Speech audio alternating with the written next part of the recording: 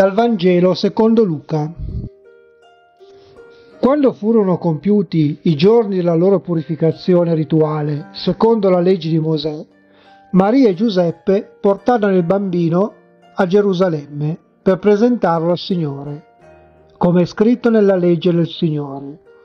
Ogni maschio primogenito sarà sacro al Signore, e per offrire in sacrificio una coppia di tortore o due giovani colombi, come prescrive la legge del Signore. Ora a Gerusalemme c'era un uomo di nome Simeone, uomo giusto e pio, che aspettava la consolazione di Israele, e lo Spirito Santo era su di lui. Lo Spirito Santo gli aveva preannunciato che non avrebbe visto la morte senza prima aver veduto il Cristo del Signore.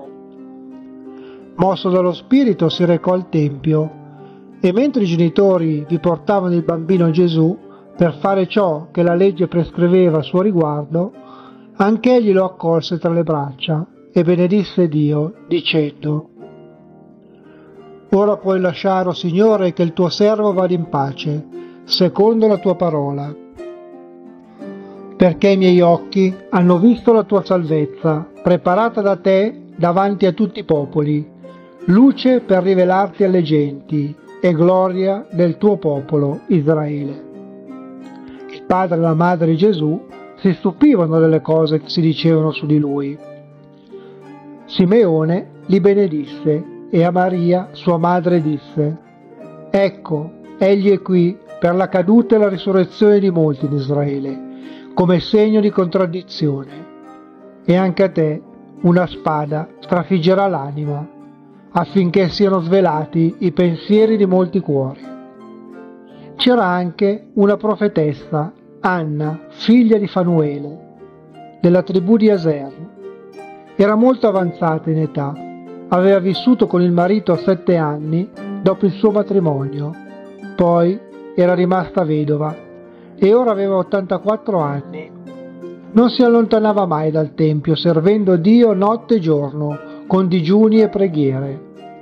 Sopraggiunta in quel momento si mise anche lei a lodare Dio e parlava del bambino quanti aspettavano la redenzione di Gerusalemme. Quando ebbero adempiuto ogni cosa, secondo la legge del Signore, fecero ritorno in Galilea, alla loro città di Nazareth. Il bambino cresceva e si fortificava, pieno di sapienza, e la grazia di Dio era su di lui. Care sorelle e cari fratelli, la festa della Santa Famiglia di Gesù Maria e Giuseppe ha lo scopo di calarci nella quotidianità.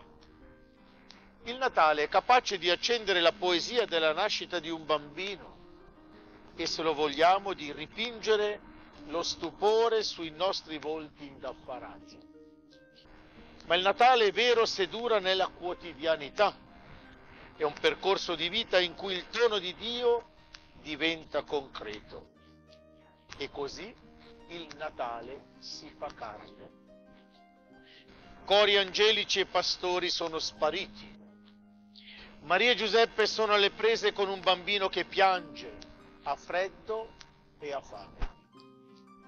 È il figlio di Dio, ma è uguale a tutti gli altri bambini e i suoi genitori hanno gli stessi problemi di ogni papà e di ogni mamma. Anzi, forse qualcuno in più Giuseppe si sarà sicuramente domandato perché deve fuggire in Egitto con Maria e Gesù. È proprio necessario, visto che quel bambino è il figlio dell'Altissimo. Ed è necessario anche quel viaggio a Gerusalemme per adempiere la legge di Mosè e presentare al Tempio il primogenito maschio e offrirlo al Signore, come ci ha narrato il Vangelo di Luca ma non è lui il Signore.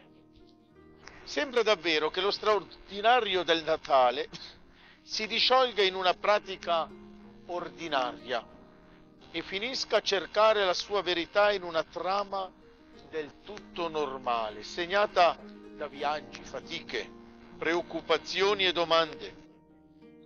Esattamente quello che accade alle nostre famiglie anche in questi giorni di festa. C'è un Giuseppe che ha perso il lavoro proprio nei giorni che hanno preceduto il Natale. Certo ha festeggiato con la sua famiglia, ma il cuore era aggravato dalla preoccupazione. Troverà un'occupazione per dare sicurezza alla sua sposa e ai suoi figli. Un altro Giuseppe ha l'affitto della casa da pagare e le rate sono pesanti. Ce la farà ancora condurre dignitosamente la sua famiglia perché lui non vuole far avvertire troppo la fatica e non vorrebbe far mancare nulla di quello che è necessario. C'è una Maria rimasta sola con i suoi bambini e a Natale la mancanza con il suo Giuseppe in quella casa si è sentita ancora di più, anche se ormai sono passati alcuni mesi dalla sua morte così improvvisa. L'anno scorso c'era con la sua gioia e la sua sicurezza. Chi avrebbe mai pensato che non ci sarebbe stato quest'anno giovane e forte com'era? Ci sono una Maria e un Giuseppe che hanno passato il Natale adagiando nella mangiatoia, come se fosse ancora una neonata da accudire la loro figlia ormai trentenne. Le hanno appena diagnosticato un tumore, dovrà essere operata, patirà sicuramente una menomazione. E loro non sanno come essere contenti, come darle coraggio, visto che hanno poco anche loro. Ecco, sorelle e fratelli, che succede a Natale quando si incarna nella quotidianità di una famiglia. La porta è chiusa, il tanti auguri non risuona più e dentro restano le preoccupazioni.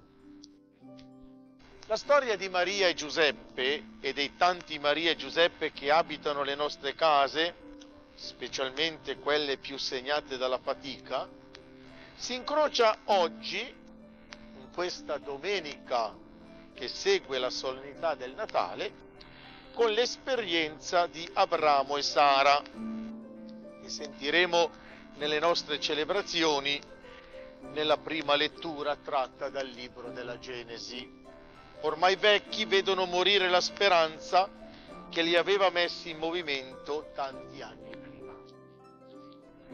Abramo partì per un luogo che doveva ricevere in eredità e partì senza sapere dove andare e ora si ritrova sulla bocca ancora una domanda, Signore Dio, che cosa mi darai? Quanta fede, quanta attesa, quanto coraggio nel formulare la sua domanda a Dio. E Dio che cosa fa? Lo condusse fuori e gli disse, guarda il cielo e conta le stelle, se riesci a contarle. E soggiunse, tale sarà la tua discendenza. All'opera c'è ancora e sempre il Dio di Natale, quello che sa portare il cielo in terra, quello che con la bellezza vuol generare lo stupore, colui che sa riempire l'angosciato cuore dell'uomo e della donna con tutte le stelle del cielo, che pure l'uomo e la donna non sanno nemmeno contare. Ciò che disse ad Abramo, Dio lo ridisse a Giuseppe e oggi lo ripete a ciascuno di noi mentre ci dibattiamo nelle nostre strettoie. Ci porta fuori dai limiti delle nostre conoscenze e ci porta fuori dai limiti dei nostri pensieri. Carissimi se vogliamo che il Natale entri nella vita delle nostre famiglie, lasciamoci condurre fuori e soprattutto lasciamoci aprire gli occhi.